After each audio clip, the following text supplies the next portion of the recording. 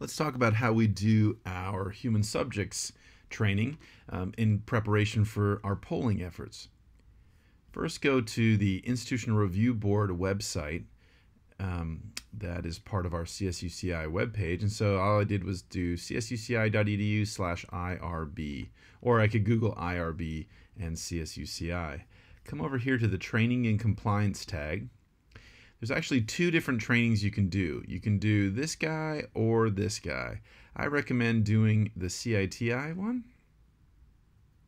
And so what you need to do first is um, you guys will need to register. I've already registered, so I could log in, but you'll just register. So you're going to come up here, and you're going to pick your affiliation. There we go. And then we say agree, and we're not paying for the course.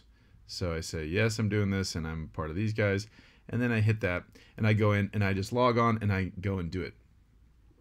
Uh, take about 45 minutes or so, depends on how fast you go through it. Um, when you're done, make sure to save uh, the PDF of your, or either print screen or save as a PDF your diploma, and you'll upload that to our Google Drive. That's it. Do that, and we're off to the races.